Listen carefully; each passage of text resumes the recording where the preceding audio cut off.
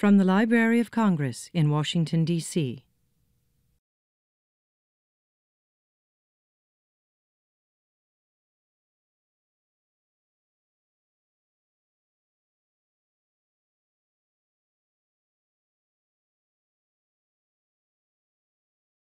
My name is Rosemary O'Neill, and I am um, with the Women's Office at the Department of State. Um, I've been handling uh, women in Afghanistan, our policy with regard to women in Afghanistan. And one of the great personal pleasures that has come to me out of the tragic situation that has transpired in Afghanistan in the last 23 years is meeting some absolutely wonderful uh, women from Afghanistan. Their courage is truly remarkable, and um, uh, the challenges that they have had to meet and address, and um, the fact that they are now um, beginning to have a voice in the rebuilding of their country is very, very exciting. So we're going to meet some of those women today and hear from them. Uh, Senzil Nawid will be speaking first. She has taught at New York University, the University of Arizona, and the University of Michigan. She received a BA in history from Kabul University, an MA in history from the University of Denver, and a PhD in Middle Eastern Studies from the University of Arizona. She has written extensively and lectured on women in Afghanistan.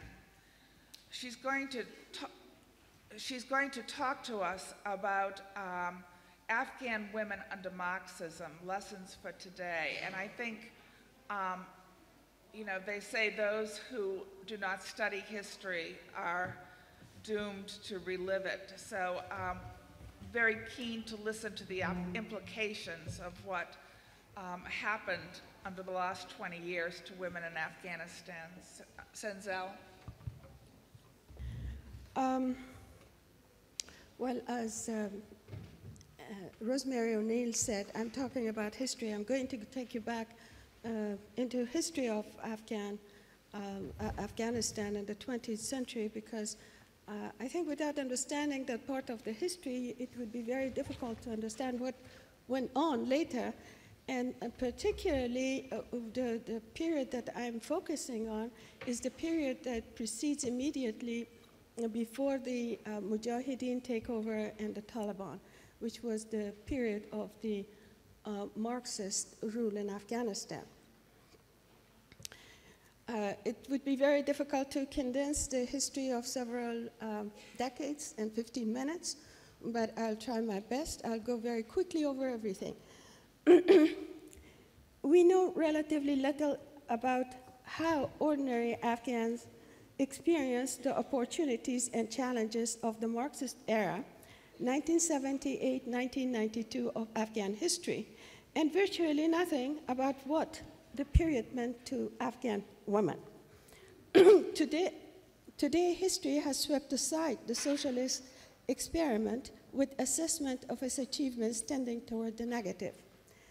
It was in this 14-year period, uh, wrote Fred Halliday, that the society and politics of the country were brutally transformed from above and below, leading to the chaos of the 1990s in which another radical authoritarian faction, the Taliban, came to power.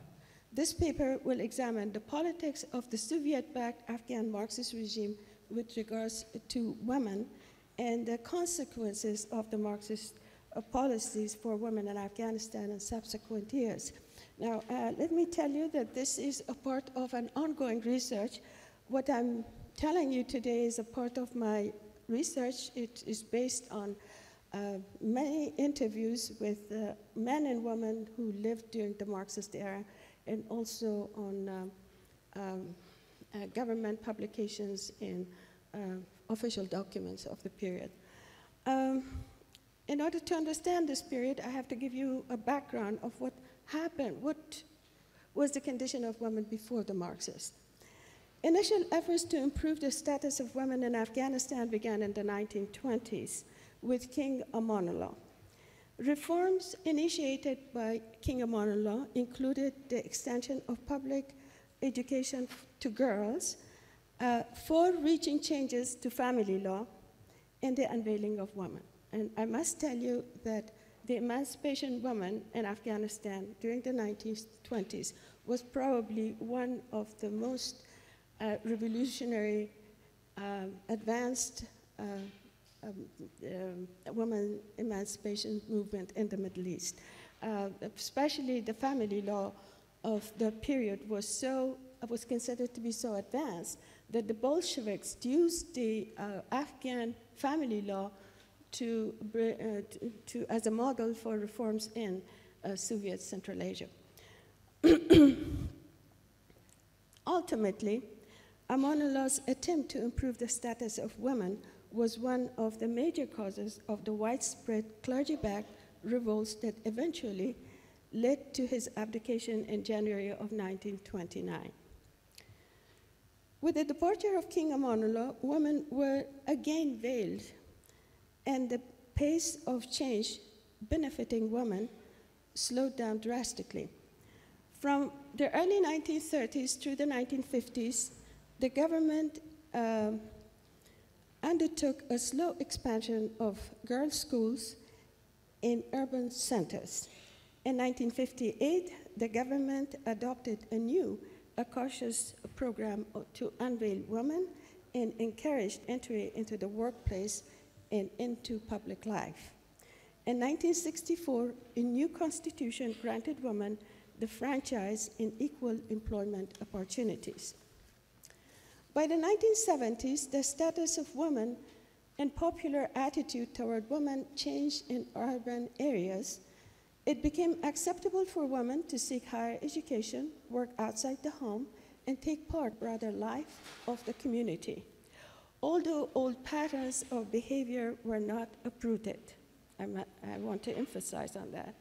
And disparities between urban and rural life began to grow during this period, Government policies with regard to women provided opportunities for education and paid work in urban uh, areas and prepared the ground for popular acceptance of women in the public arena. So, when the pro-Soviet Hizb Demokratik Khalq Afghanistan, the People's Democratic Party of Afghanistan, which is abbreviated as the PDPA, was formed in 1965, it was able to attract to its rank a number of female high school and university students in major Afghan cities. In 1965, the Center Committee of the PDPA granted permission for the formation of the Democratic Organization of Afghan Women, which is called DOAW, uh, uh, under the direction of Dr. Anahita Ratebzad. When the People's Democratic Party of Afghanistan, the PDPA, gained power in a coup on April 27, 1978, it went further than any previous regime in the effort to liberate, to liberate women by pushing for radical changes in the structure of Afghan society. To understand the politics, the political dynamics of the Marxist era with regard to women in Afghanistan, it's necessary to understand certain aspects of Marxist-Leninist theory to which the leaders of the People's Democratic Party of Afghanistan adhered. Marxist-Leninist feminist theory, as probably most of you know, uh, connects the oppression of women with the broader issue of class struggle. Double moral standards for men and women, according to the Marxists, originate in class society and are inherent in the patriarchal family system that determines sex roles and perpetuates the suppression of women.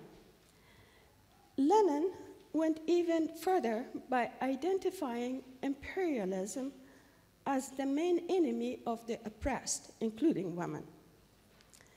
Leninist theorists then defined women as the proletariat and argued that women will be able to secure full control over their lives and reshape their destinies only as an integral force in the world's socialist revolution. Guided by Marxist Leninist ideology, the PDP leaders linked Afghanistan's backwardness uh, to the structure of tribal feudalism and promoted women's emancipation liberation, uh, I mean, women's uh, emancipation movement as central tenets in the fight against feudalism, capitalism, and Western imperialism. And so doing, uh, the uh, regime, uh, the Marxist regime, regime pushed the issue of women's emancipation to its radical extremes in Afghanistan. Similar, to, uh, similar in content to measures in, introduced during the 1920s by King Amanullah, Decree 197 issued in the October of 1978 by the Revolutionary Council abo abolished forced marriages, the exchange of women in marriage for cash, and extravagant wedding expenses. It also limited the amount of mahr, or bridal money, and set the age of engagement and marriage at 16 for women and 18 for men. However, unlike uh, King Amanullah, the PDPA leaders were careful not to tamper with uh, provisions of Islamic law relating to polygamy. The divorce law was not officially announced, but the introduction of family courts presided over by women judges provided a hearing for discontented wives and protected their rights to divorce, alimony, child custody, and child support. Along with the promotion of degree, 19, uh, degree number seven, the regime launched an aggressive literacy campaign to, to uh, strengthen um, its base of support among women. Female party members were encouraged to fight along with men to counter feudalism and the negative uh, influences of Western imperialism in Afghanistan. In 1984, the DOAW maintained that the organization had succeeded in uniting approximately, approximately 30,000 women and 669 primary organizations and had mobilized more than 80,000 rural women in social production. The campaign to engage women as a revolutionary force for change in Afghanistan, a traditional Islamic society with entrenched tribal and patriarchal values, was bound to ignite a strong reaction from the forces of tradition. In fact, the campaign for women's emancipation was the impetus for the first mass pro protest against the Marxist regime in 1978 79, resulting in the deaths of two women activists in Herat. Dramas depicting women in feudal bondage on television and on a Flag Day parade in which female students were televised dancing and chanting Marxist slogans, and waving red flags infuriated many. Most of the female students participating in the parade were from Kandahar. As it turned out, many Kandahari fathers who had pleaded to get their daughters admitted at Kabul University before the April Revolution were deeply offended by the participation of their daughters on the Flag Day parade. And as you know, Kandahar is the home of the Taliban.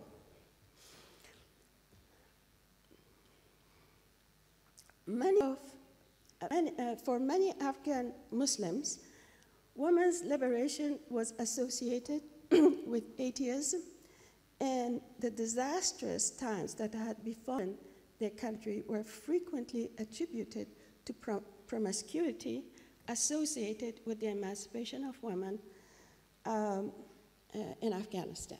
So women are always blamed for everything, and this is what happened then. um, civil war combined uh, with Afghanistan's economic backwardness created serious setback to the Soviet-inspired reforms. The issue of women's rights and women's eman- emancipation was de emphasized as counter revolutionary forces gained strength. In 1978, a change in the leadership of the PDPA brought Dr. Najibullah to power. Realizing the, grad- the gravity of the situation, Najib proposed national reconciliation and discarded all Soviet inspired policies, including efforts to politicize women in support of Marxist revolution. However, Najib's efforts to abrogate extreme measures adopted by the previous regime had little effect in changing the attitude of the opposition groups. The general reaction against the feminist movement launched by the Marxists was so strong that many PDPA members, including Najib himself, prevented their wives from participating in public affairs in fear of terrorist attacks against them by opposition groups. In a society not yet ready to see women enjoy equal rights with men, the PDPA's highly politicized women's liberation movement unleashed fundamentalist Islamic attitudes toward women that were now hard to reverse. These extreme attitudes resulted in the torture, rape, and brutal murder in Kabul of many women alleged to be atheist communist after the fall of the Najib government in 1992. Resentment against uh, women's emancipation was articulated in a religious verdict signed by 16 members of the Judiciary Council of the, after the Mujahideen takeover. This is not the Taliban.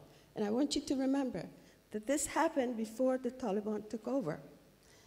The verdict reads in part The Muslim people of Afghanistan launched a jihad, fought for 14 years, and lost numerous lives in order to re-establish the divine ordinances in the country. Now that by the grace of the Almighty, our Islamic country is free from the bondage of the atheist rule, we strongly demand the immediate enforcement of veiling. We recommend that women be banned from television, radio, and government offices and that all girls' schools, which are in reality the hub of the hub for debauchery and adulterous practices, be closed down. This verdict was the signal for the Taliban to exclude women from public life and push them back into the home. Some lessons may be drawn from the experience of the Marxist era. The most important initiative of the Marxist per period with regard to the status of women was to make education available to women of all ages and classes. The PDP's literacy campaign, if successful, would have improved the position of women even in the remote villages of Afghanistan. The aspects of the literacy campaign of the Marxist era, which were not offensive to Afghan culture, might serve as a model for the expansion of education for women in Afghanistan. also, significant was the regime's efforts to empower women by teaching them organizational skills and encouraging them to be involved in Afghan politics and become active members of Afghan civil society. On the other hand, however, the experience of the Marxist people, mm, period illustrates the adverse effects of combining women issues with partisan propaganda rooted in non Islamic ideology. The highly politicized women's emancipation campaign, based on the ideology of class struggle, propelled women into the forefront of the clash between ideological radicalism of the Marxists and the traditional Muslim indigenous society, ultimately resulting in a serious setback in the liberation of women in Afghanistan. The Marxist experience in Afghanistan has been characterized as the failure of revolution from above. It represents a case of a weak state attempting to enforce revolutionary changes from the top. And this has happened twice in Afghan history, in fact. Twice during the 20th century Afghan, in Afghan history, uh, once in the 1920s and then during the Marxist era in the 1980s, the state attempted to bring revolutionary changes in the status of women. In both instances, the mobilization of women was met with strong opposition by reactionary forces and created a major backlash. The struggle for women's rights in Afghanistan is an ongoing process. I believe strongly in the, in the power and, and the potential, potentials of Afghan women. However, now that a window of hope has opened to the Afghan woman to assert their proper place in Afghan society, it's important for the advocates of women's rights to pay heed to the outcome of the radical campaigns of the 1920s and the 1980s. Two decades of war resulted in the total demise of the modernization efforts of the earlier periods and re entrenched traditional values with regard to women.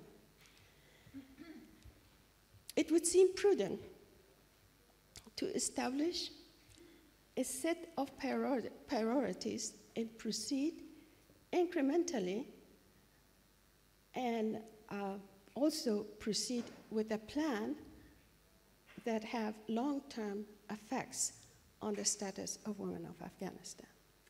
Thank you.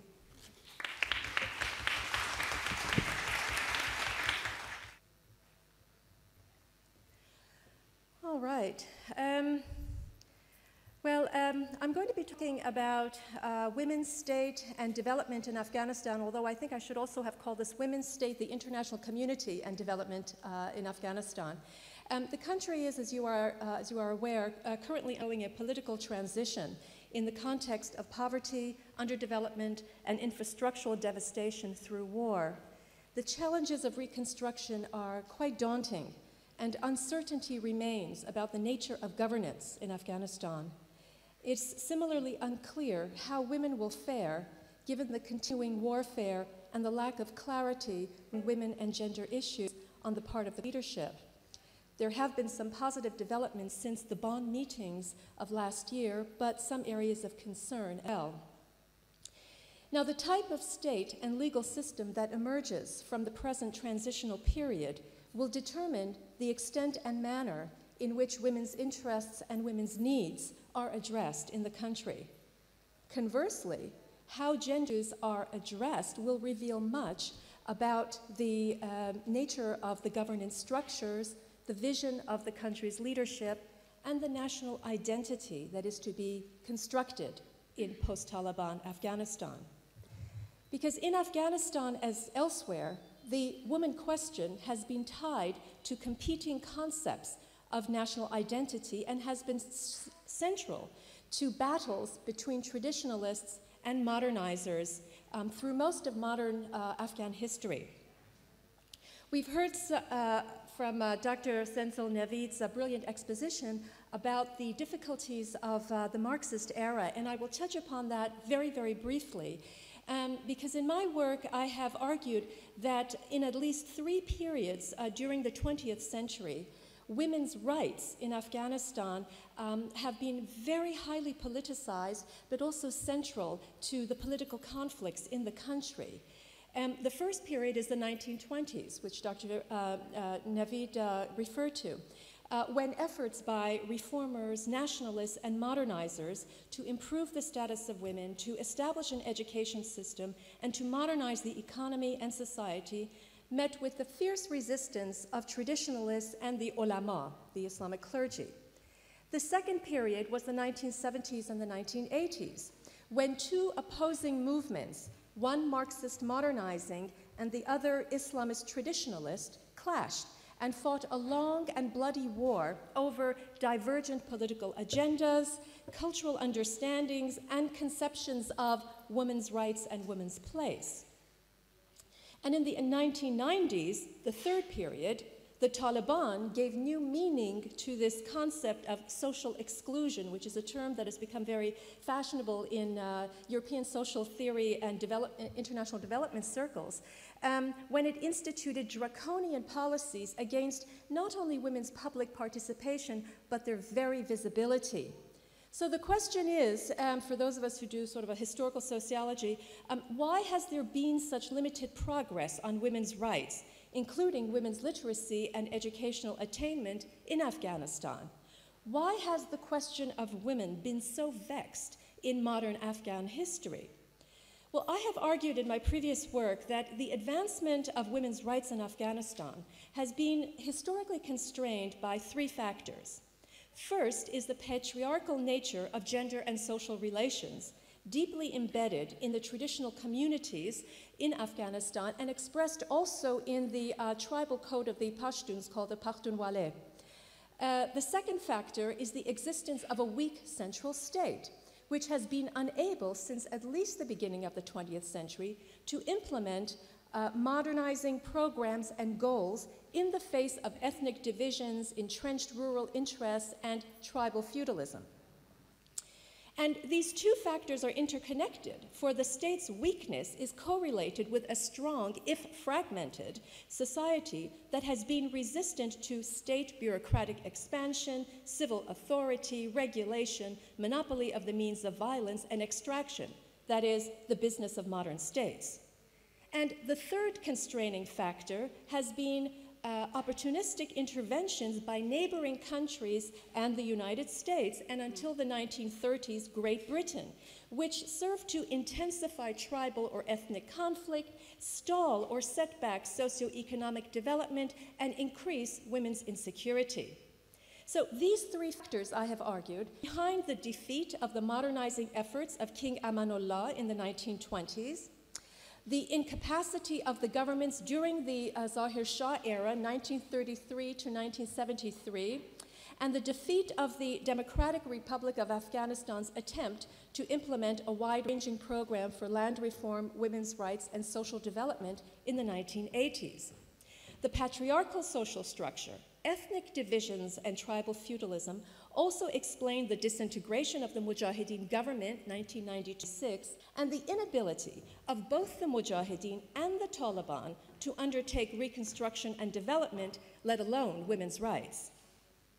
Throughout most of the 20th century, therefore, a patriarchal social structure, the absence of a strong, centralized, and modernizing state, and conflictual international relations, the Great Game, the Cold War, regional rivalries, these factors relegated Afghan women to a status that could only generously be called citizenship. Um, and during the long reign of Zahir Shah, for example, the country did experience relative peace and stability, but very little social development took place, as we heard um, the tiny elite in Kabul managed to insert a gender equality clause in the 1964 Constitution, and four women joined the new parliament the next year. But by the late 1970s, uh, fully 94% of women were illiterate. Moreover, 89% of village, primary, and secondary schools were for boys, while only 11% of schools were for girls. World Bank data show that in 1981, the secondary school gross enrollment rate for girls was only 4.5%, compared with 33% in Iran and 7.9% uh, in Pakistan. And I have a graph that really um, uh, dramatically illustrates uh, the extent to which Afghanistan, in uh, the late 1970s and in 1980s, sort of on the eve of the Marxist revolution and immediately afterwards, um, was really very, very much behind on every socioeconomic indicator compared to their neighbors, Pakistan, and especially compared to Iran.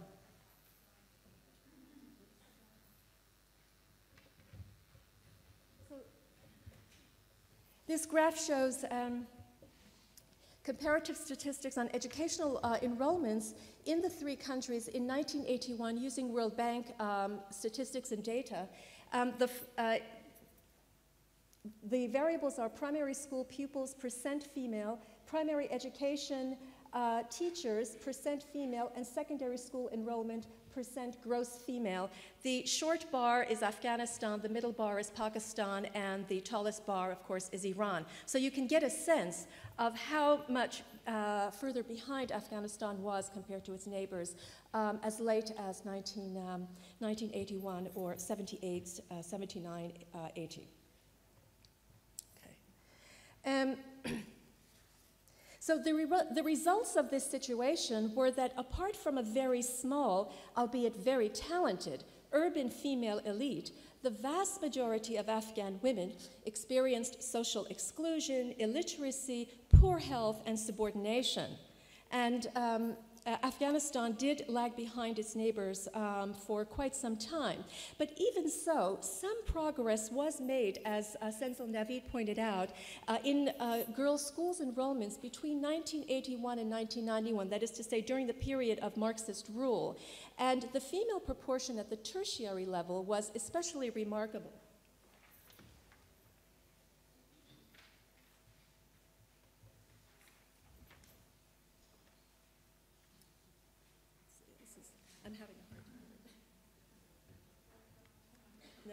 There we go. Okay. No? Oh, there. Uh, oh, I see. I have to do it that way. All right, fine. Okay. Um, as you can between 1980, you know, I should point out that statistics are very um, less than precise in many developing countries, and especially in a country like Afghanistan, where the most scientific surveys have uh, been uh, carried out with only great, great difficulty and very infrequently. Um, so these are estimates, but you know we have to deal with what we have. Um, as you can see, between 1981 and 1991, primary school uh, enrollment, and in particular the percentage that was female, almost doubled. So there was some progress, even though there was a very uh, non-conducive uh, environment, i.e. Uh, the internationalized civil conflict that took place during most of the 1980s. Um, and the uh, secondary school pupils, the percent female was 32.2% in 1991. Uh, so this also gives you a sense of the progress. And the other interesting thing is that um, according to the 1989 UN report on Afghanistan by the UN Special Rapporteur, Dr. Felix um, and he was in Kabul at the same time that I was there in January, February of 1989. His report uh, uh, mentions that there were seven higher education institutes in Kabul with a total of 15,319 students of both sexes and the Medical Institute, um, uh, under the Ministry of Public Health, had really integrated a lot more students. Um, for example, a total of 18,000 students in 1989 compared with a total enrollment of 7,000 um, in 77 78. And in 1989, uh, Kabul University had about 7,000 students, of which 65% were women. So the next time you hear the um, statistics, that before the Taliban came to power, 40% of civil servants were women and 60% of the university um, students were female. Um, it should be pointed out that this was the era before um, the Mujahideen, i.e., during the communist era, not in the early 1990s, but during the communist era. Thank you. Um, all right, well, uh, let's look ahead a little bit to, towards reconstruction and development with women and how um, uh, current policies and laws might be able to meet what uh, researchers within the field of gender and development define as women's practical needs and their strategic gender interests. And of course, practical needs have to do with basic uh, issues of literacy and health and uh, water and shelter, um, and perhaps a second uh, tier of uh, educational attainment and so on. And the strategic gender interests have to do with um, helping to realize women's uh, equality, autonomy, and empowerment. And of course, this has to be regarded as holistic. That is to say, without meeting women's basic needs, you can't uh, help to realize women's strategic interests, but also that meeting women's strategic interests, that is to say, attaining equality, autonomy, and empowerment, also requires a conducive legal environment. And the difference between uh, Afghan women today and Afghan women in the 1970s and 1980s, when they were really more or less neglected by the international community, was that today they are enjoying the benefit of a new international environment that really places a high uh, premium on gender equality and women's participation. And this is partly a legacy of the UN Decade for Women, but it's partly a legacy of what we may uh, call global feminism, which really came into its own after the 1985 Nairobi conference. And it's sort of no accident that by the time the Taliban came to power in 1996, global feminism was in full swing, um, and it became the target, the Taliban regime became the target of a highly mobilized and organized transnational feminist movement with a commitment to the universality of women's human rights and the benefit of uh, technological know how. And we heard a little bit about this um, in, uh, during the uh, internet um, uh, discussion earlier today. But the question is will this new global environment favoring women's rights influence planning policies and resource allocations for a post Taliban Afghanistan in a way that uh, benefits women and girls? Well, certainly the transnational uh, feminist uh, movement uh, can be relied upon to monitor the situation, to advocate and, and promote um, the rights of women and girls, and so on. Um, but the question still is whether uh, post Taliban Afghanistan will adopt the legal and policy frameworks conducive to the realization and expansion of uh, women's needs and rights. One area of concern uh, pertains to the legal frameworks that are to be decided upon by the next Loya Jirga. The Bonn Agreement um, that took place last year stipulated that the new constitution and the legal framework should be drafted, quote, in accordance with Islamic principles, international standards, the rule of law, and Afghan legal traditions. That's quite a broad remit, and we can expect some disagreement among the um, political forces over the mix and hierarchy of international, secular, religious, traditional practices and, and codes. And the legal framework that, which is, as I said, is yet unclear, will be able to determine and shape women's um, uh, interests and needs.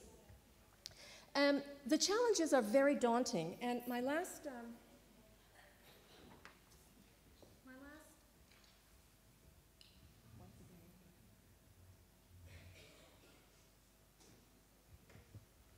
And my last uh, overhead um, illustrates again some of the daunting challenges with respect to the most basic needs um, of, um, of, Afghan uh, women and men and girls. So, what are some of the major needs of uh, Afghan women? And in an article that I published in uh, the journal World Development in 1994, I identified some of the um, uh, the, uh, the, major concerns and the needs um, at the time, and they're actually still quite pertinent and salient.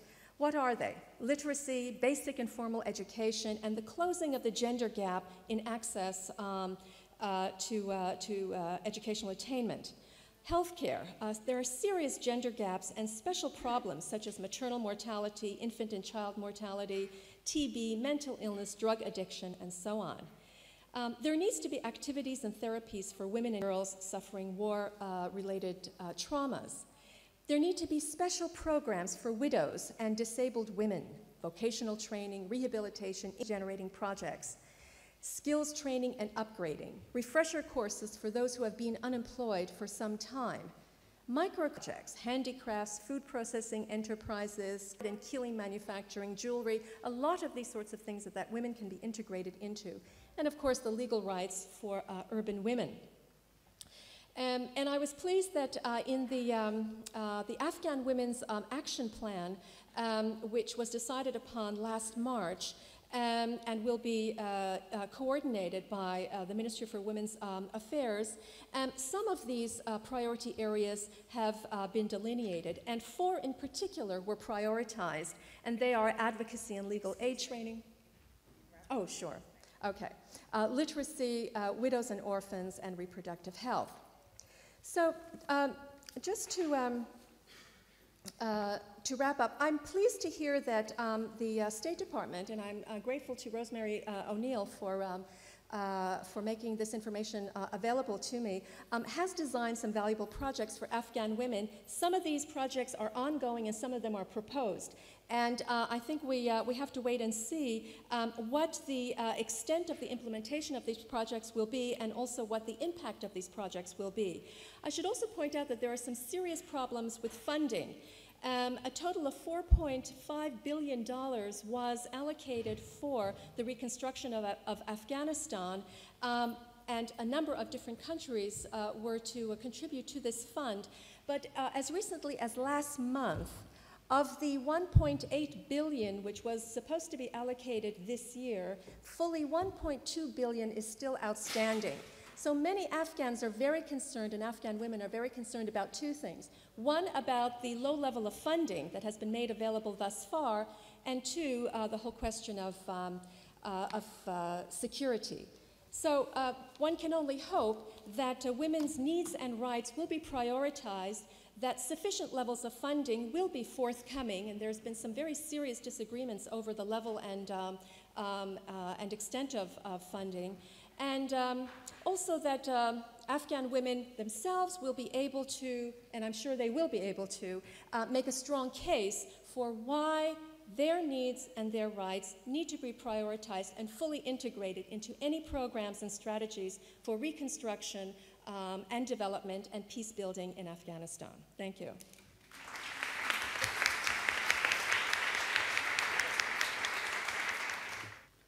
Thank you very much, Rosemary. Thank you all for coming. Uh, I know you must be all very tired at the end of the long day, so I'll basically um, focus my remarks uh, today on the emergence of civil society, uh, its role and its function uh, in, Af in, Afghanistan, uh, my home country. Uh, although I'll focus my remarks on women with whom, Afghan women with whom I've worked with, with almost two decades, I also want to note that my organization, Refugee Women in Development, REFWID, uh, has worked extensively with war-affected women and their male counterparts in various parts of, of the world.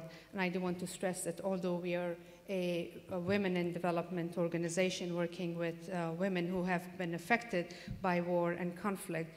Uh, we also include men because, especially in uh, Islamic societies such as the one I originate from, it's extremely important to work in that context. Uh, now, let me move on briefly to talk about REFWID, um, programs, and a little bit on the, on the history of our work. We have so far in the past 23 uh, years provided training and technical assistance to hundreds of civil society organizations um, uh, led by women and their male counterparts. And we have basically strengthened uh, and focused on strengthening the independent sector transition from uh, war to peace and to democracy.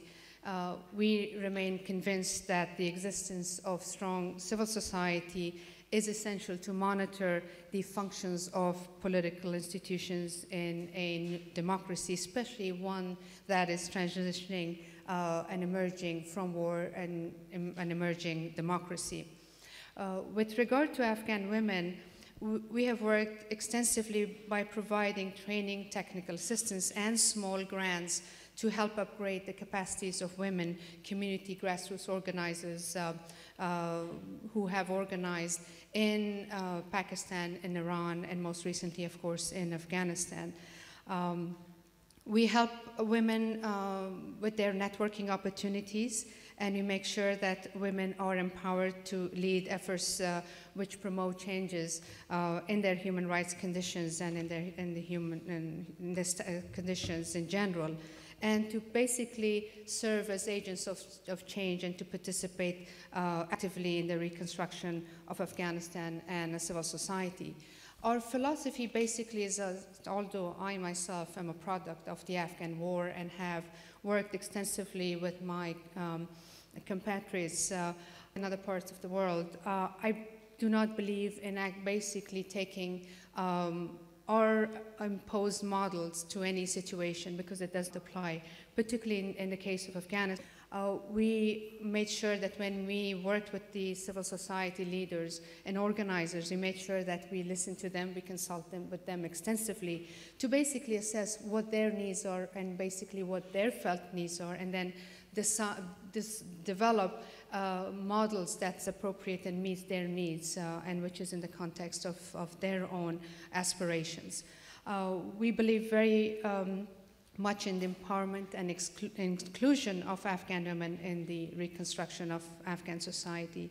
And to accomplish this, we basically um, have, we, we, think it's important for women to have access to information, um, organizational management, and leadership skills. And the women, Afghan women I've worked with basically tell me that it's important for them to work in unison with uh, other indigenous Afghan groups and international organizations, and they are telling me um, constantly that they need regional and international linkages, particularly um, with women in the Muslim world and Muslim societies, because they need information on Islamic humanitarian principles, uh, because this is, a, this is the way, this is the information they need in order to use those, uh, that information and those models to uh, progress in their own societies.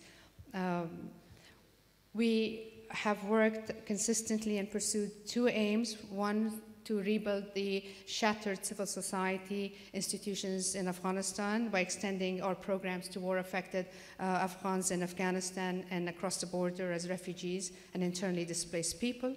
And we assist Af Afghan community grassroots organizations operating in Iran and Pakistan to basically relocate within Afghanistan. So far, we have trained, we're, we're an organization that has worked extensively across gender and across uh, sectarian and ethnic affiliations. We have trained and worked with 90 Afghan civil society institutions from various uh, uh, ethnic um, uh, representations, and we have provided small grants to 13 Afghan NGOs to support their projects. And we have worked with many groups uh, who were under, working under the Taliban clandestinely to help uh, women to continue their work uh, to provide education uh, and skills training to women who were in Afghanistan. Let me state that during the past two decades in Afghanistan, uh, military regimes um, have focused, their focus has been on war and the war economy, uh, which has led to the breakdown of the Afghan social uh, fabric, which has kept the voices of tolerant and democratic-minded uh, Afghans muted. In essence, um, for the past 23 years, the story in Afghanistan has been that of empowerment, but empowerment of the communists, the holy warriors, and then the empowerment of the Taliban. But nowhere has the story of the empowerment of the Afghan people taken place. And the international community must empower war-affected Afghans to rebuild their economies. And it's time to finance Afghan-led efforts to promote peace and the building of democratic civil institutions to balance the powerful political institutions. Now let me move on and to talk a little bit about the impact of war uh, in Afghanistan. We all know that uh, the war has had a very serious impact on both the social, political and the physical structure of the Afghan society. Our society has been ravaged by the 23 years of conflict. Uh, Two million Afghan lives have been lost, 1 million landmine handicapped, 12 million women living in abject poverty. And according to the Human uh, Development Index of the United Nations Development Program, average life expectancy is 46 years uh, a mortality rate of 25.7% for children under five years old, and an illiteracy rate of 64%. And Afghanistan ranks amongst the most destitute, war-damaged countries in the world in terms of human development. And an average of 46 women die every day in Afghanistan. Rampant poverty has long characterized um, Afghanistan, and 1996 takeover by the Taliban, a faction of religious extremists, um, is the most recent assault in a long history of oppressive regimes, and this is something that I must underscore. Uh, under the Taliban, women in particular um, was sub subjected to a severe form of government and deprivation of their basic human rights. Today, approximately 1.2 million Afghan refugees still reside in Pakistan, 1.4 million um, in Iran, and an estimated 1.7 million refugees, uh, Afghans who are displaced internally within the borders of Afghanistan. As in most um, war conditions, uh, the majority of uh, the refugees and the internally displaced people are women and their children. And the magnitude of this tragedy is so mind boggling that few outside Afghanistan can, can conceptualize an approach, let alone a solution. And here is where the problem lies. And if we don't take that into uh, consideration, I don't think the solutions from the outside will work um, in basically affecting change and bringing sustainable um, democracy and development in Afghanistan. Let me move on to, this, to outline a few uh, basic um, issues that's affecting the status of women. The status of women, I'm sure as most of you know, uh, in, in Afghanistan ranks amongst the worst in the world. And the statistics indicate that one in every woman dies in childbirth or pregnancy related complications every 30 minutes. 70% of all diagnosed tuberculosis cases occur in women. This is the highest TB rate in the world. Literacy is among the lowest in the world. It is estimated that 80% of the Afghan women cannot read or write, and women are the poorest of the poor. And in fact, they are leading what we call in the field of development the feminization of poverty and the feminization of forced migration. Maternal and infant mortality rates amongst the highest in the world, and an Afghan child is 25 times more likely to die before the age of five and 300,000 women, uh, sorry, children die each year from preventable diseases. And although there are no statistics on mental health, we know that women are highly traumatized by the impact of war, and um, suicide rates are rapidly on the rise, and obviously women are amongst the most undernourished.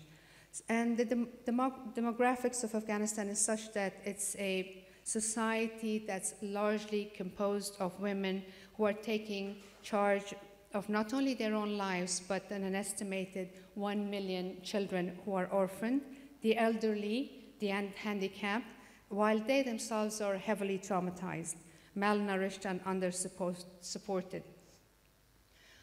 Despite these daunting challenges, Afghan women have demonstrated remarkable abilities uh, to transcend their image as victims and instead excel as resources for development. And this is uh, something that I would like to underscore. I'll move on now how they have demonstrated their um, ability uh, given these daunting challenges. The NGO movement and the burgeoning of a civil society in Afghanistan, how did it come about? Um, we know that the past 23 uh, years of war, we have not had a government and uh, we've had military regimes, and obviously um, the Afghan people were heavily impacted by a lack of government that would provide basic services that normally you would um, have access to during times of peace. So Afghan women basically realized that um, they had to take matters in their own hands.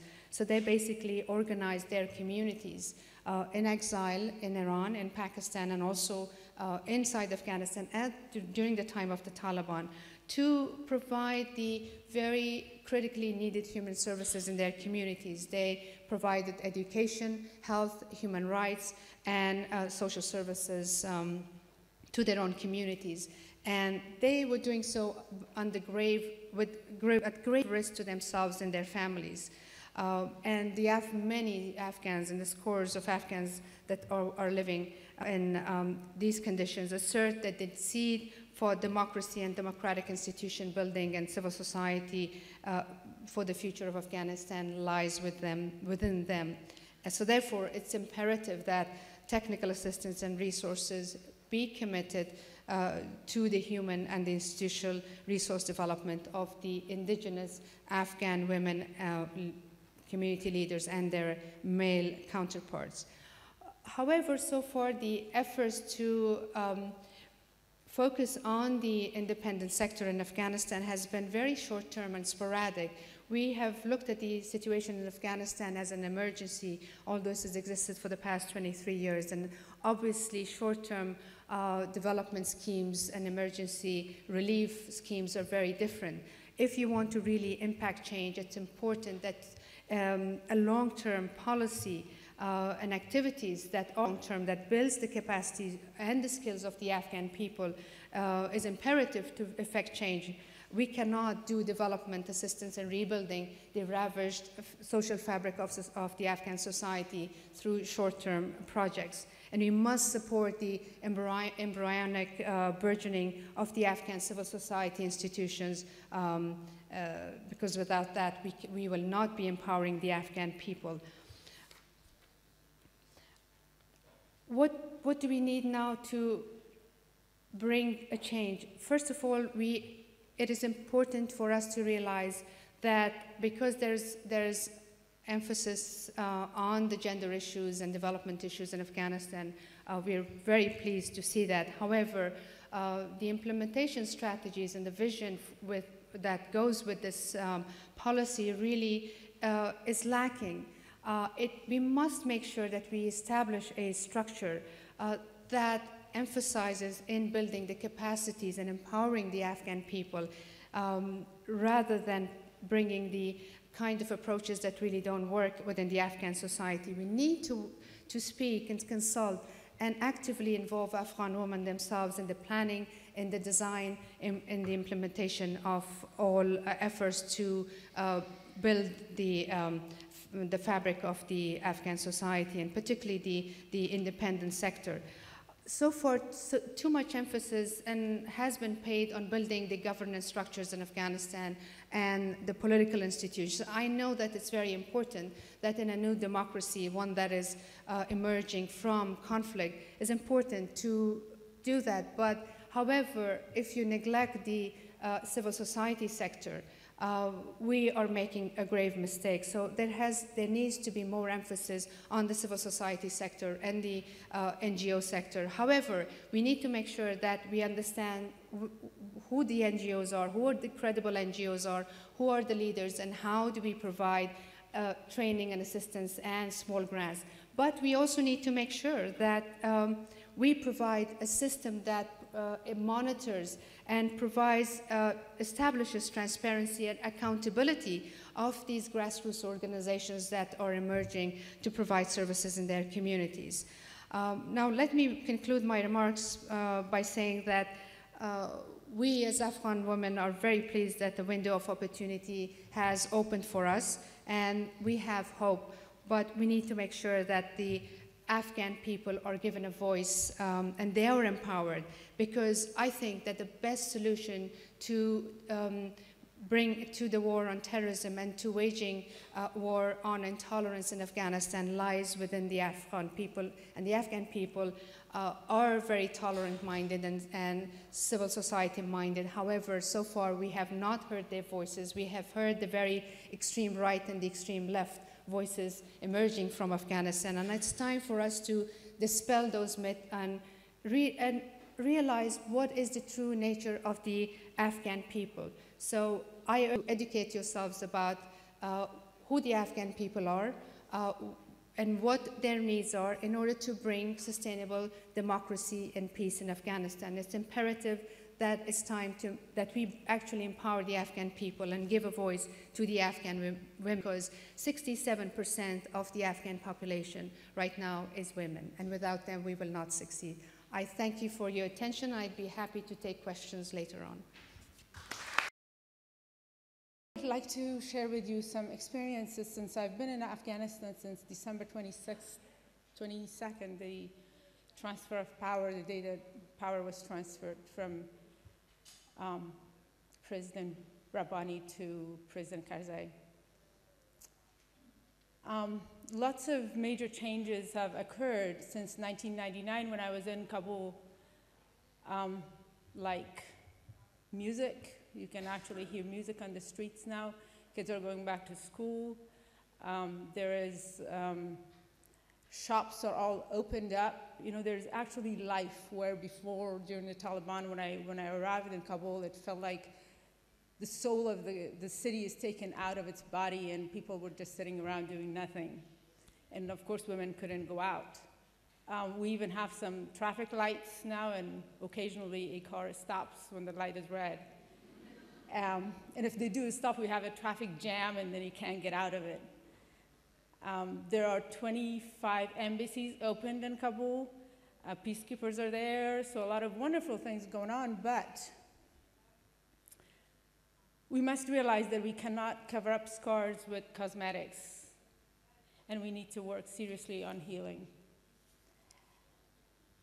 We at, Afghanistan Leave are focusing on healing through education, allowing the kids to write, to paint. Um, you should see the, the pictures that the children paint.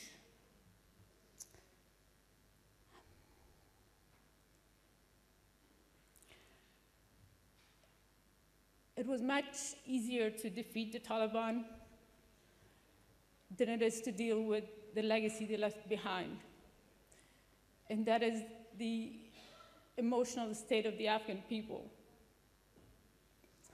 I opened up five underground schools for girls when I was in Kabul in 1999, and the Taliban came and beat them up until their hands were bleeding. Um, they beat up their teacher in front of them, but they never stopped coming. They, they just found other strategies to come to school so that the Taliban don't see them. They came one by one, wrapped up their books with the cover of Quran, and they came up with all kinds of ideas. Um, UNICEF summary report says that total of learning space in Afghanistan right now is 6,784. That means the formal and non-formal education. And, and non-formal education are, are the schools that are, are schools, but they're not registered um, with the ministry right now. There are 4,686 formal schools, and there are 2,098 non-formal schools, but they, they, couldn't they couldn't really survey all of the non-formal schools. I think there are a lot more than just 2,000. And there are total teachers, 73,074. Female teachers are 20,566, and male teachers are 52,507. Um, it's only in Kabul where female teachers exceed male teachers by 30%.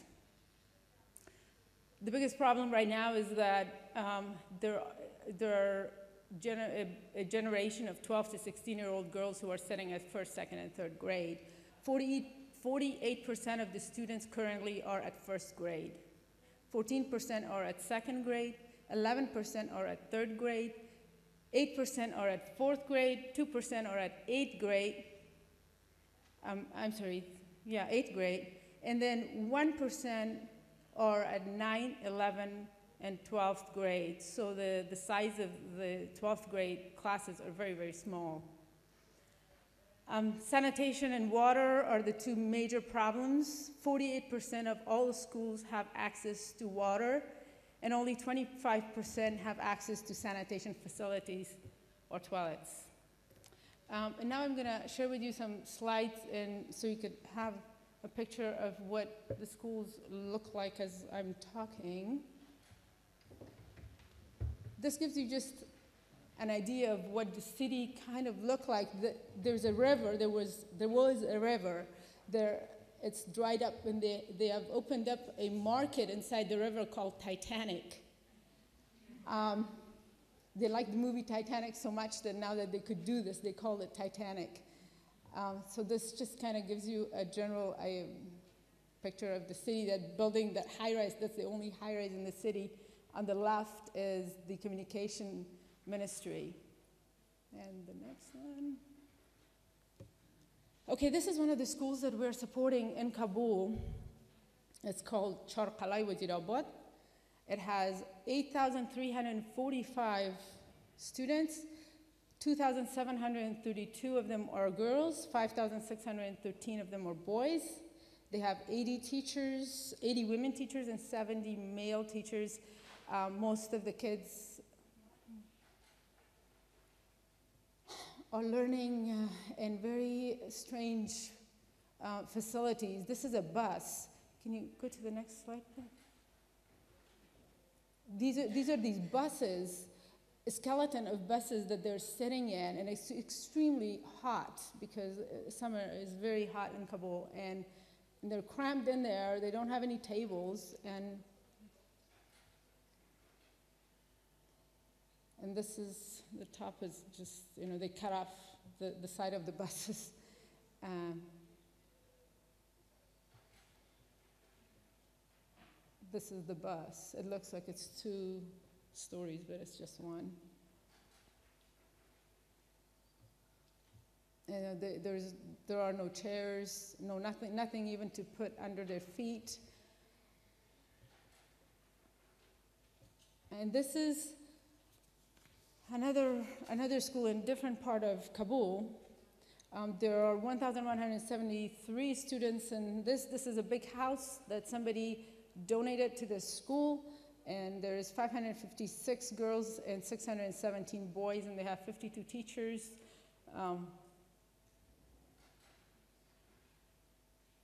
so these are the classrooms. They, they do have some chairs and tables that was provided by an organization for them. But most of them are sitting on the, on the floor. Now, this is another school that some German organization, I think, have, have uh, taken care of the building for them, but it's a huge school. They have 10,800 students. Um, we went mostly to this particular school because all of the, uh, the classes, the under classes, underground classes that we had, the kids are sitting on these classes. They, they did very well. The ones who were on third grade, they're on fifth grade, and the ones that were on fifth grade are on seventh grade. Um, they're doing much better than, than the other kids. Um, but they still don't have um, chairs and tables. The- These, this particular school are mostly girls. They have, they have 6,480 girls and only 3,620 boys in this school. It's the same school, I just, these are one of our students. so. And they're sitting in the hallways, and these, this, this is like eighth grade, and you can see how much older these girls are than regular eighth graders that would be on eighth grade. And they're sitting out, they have 20 classes conducting outside. This is one of our students. What happened?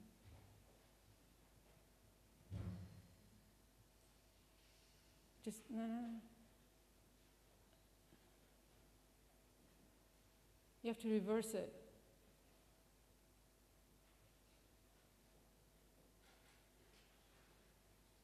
Yeah, this is a 12th grade on the, at the same school. Um, they don't have enough chairs, and the girls are over 20.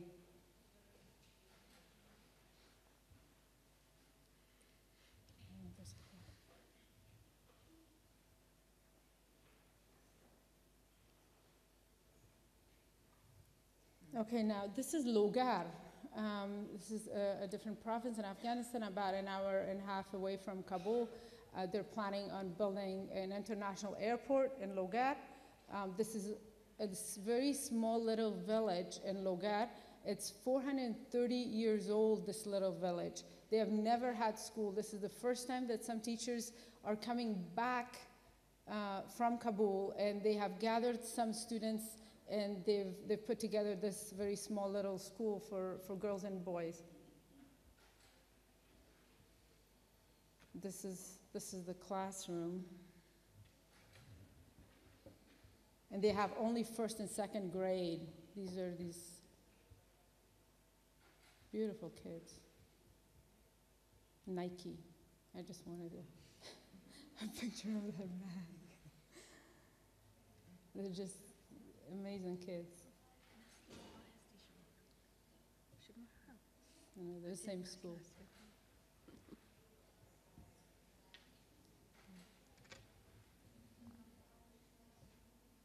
but they're just so happy. They don't have very much. You know, they don't have chairs or books and notebooks or or anything. You know, they don't even have much to eat, but they're very happy. Now this is Panjshir Valley from the top. You know, it's just a beautiful, beautiful area with this river runs through it. Um,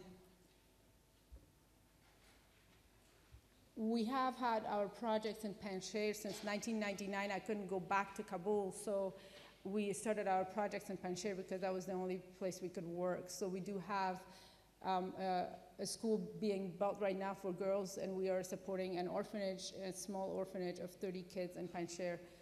Um, so, you know, kids just go by the river and play in the water. Believe it or not, I found a beach.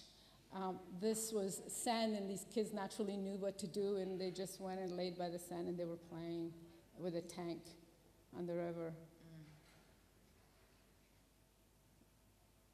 This is streets of Panjshir.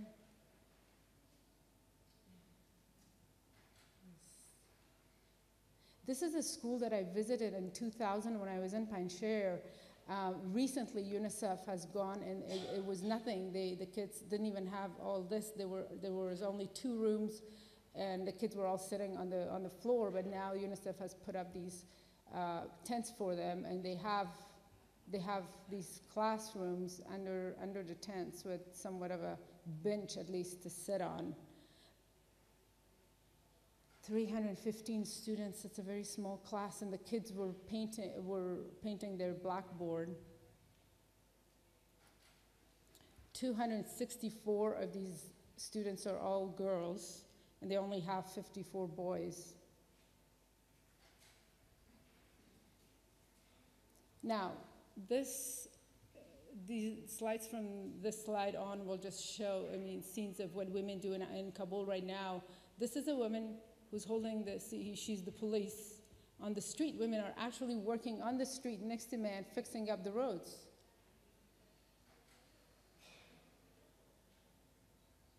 And these are not very young. I, I asked them how old they are, and one of them, one to the right, said, I must be 50. Most women don't know their age, but they think 50 is very old. This is a UNDP uh, bakery. Uh, these, these are mostly widows. Um, their children go to school. They, they, work, they work from 4.30 in the morning until 4.30 in the afternoon. Those who have daughters 12 and 13 years old, they don't let their daughters go to school because the daughters have to take care of the um, siblings, younger siblings, because the mothers have to come and work here. They don't really have a choice. refugee women who's, who are coming back and settling in this one area where all the houses are destroyed. She was baking bread outside, but she was very happy that she can do this at home. These are refugees returning, settling in these destroyed homes. Um, there are no windows, no doors. Um, I, am not sure what's going to happen to them when, once it gets cold next month. It's going to be raining and freezing. Um, I, I don't know, and they didn't know what to do. They were just going to live day by day and see. Same refugees in the destroyed homes. You know, they're, they're just so happy and playful, and they don't really have very much, you know, no food, no clothing, no nothing, you know, and it's extremely hot, but she just loved to pose in front of the camera and she followed me around. Children, um, boys, most, most of the boys um, after school go to make money because they are the supporters of the family now. They, they either do shoe polishing or selling water, um, washing cars, or selling odds and ends um, because they have to, they have to make money. I, met this one little girl where I, I, passed by. One day she was sitting on the street begging, and the next day when I passed by, she was laying down and it was extremely hot. So I asked the driver to turn around and I stopped next to her and I went and bought her some juice. And I came by and some guys approached me and said, Don't worry about her. You know, these people, this is a trick, don't give her money.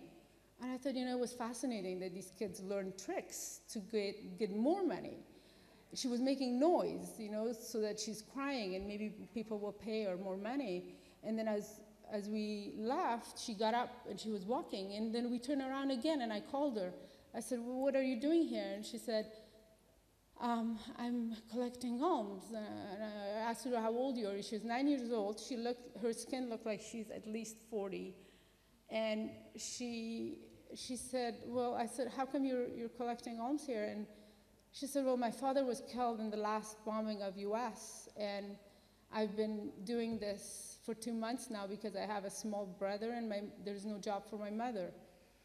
I gave her a bunch of money and I said, let's go to your house. Can I visit your mom? She said, no, I don't want to go home because my mother will be mad at me because I come home early. So most of the children are either begging out on the streets or, or working to earn about two to three dollars a day to survive for, for the whole family. And they don't have much to eat. At the end of the day, they just eat bread and um, tea and maybe sugar if they have it. But these kids are very happy. I mean, this is what surprises me that they just have such a spirit. This is our computer center in Kabul. Unfortunately, I don't have other slides. If you go to our site, www.afghanistanleave.com, you'll see other pictures of the organization and, and, our work. And this is a computer center that we have in Kabul. Um, we have many students. It's actually filled up. It's, you know, what, what keeps us working and going is the spirit of the Afghan people and the commitment and the passion that the kids have for learning and knowledge. And, and it really makes me work more, want to work more. You know, I mean, the fact that they came, it was in the middle of the winter in December, and all these kids were coming to school for, we normally don't have schools in the winter time because it's very, very cold, but they were preparing for the regular school year for March. And these kids came, and most schools had no chairs, nothing on the floors, and they were sitting there freezing, but schools were filled up with, people, with kids. And it was amazing, you know, how, where they got all of that commitment, I, I have no idea. Um, excuse me, okay, I finished actually. Um, I just want to tell you a short story about this orphanage that we have in Panjshir area, and this is what what encourages me to work in Afghanistan is that we have 30 orphans. And when I asked them this last time, two weeks ago, what do they want me to bring for them, they said, satellite dish, because we want to talk to you when you're there. And we want to know what, what other fun things is over there, and we want to know more about there. You know, there is like, you know, they didn't really know where, but they knew that there is this other place that I go to and I come back and other people go and come back and there are other things that they just want to know. And then when I asked them, what do you want to become when you grow up? This 80 year old said, the president. And one, one very major concern for me is that there are still areas in Afghanistan like Nuristan, which is uh, an area where it's very difficult to get to, and they have not had any schools in Nuristan, but a lot of Wahhabis have found shelter there. And they have only Wahhabi schools. I was trying to go there this time. Unfortunately, there was not enough time, and people thought that I shouldn't go, but because it's, it's too dangerous, and this will may become another home for the fundamentalists. Um, thank you very much.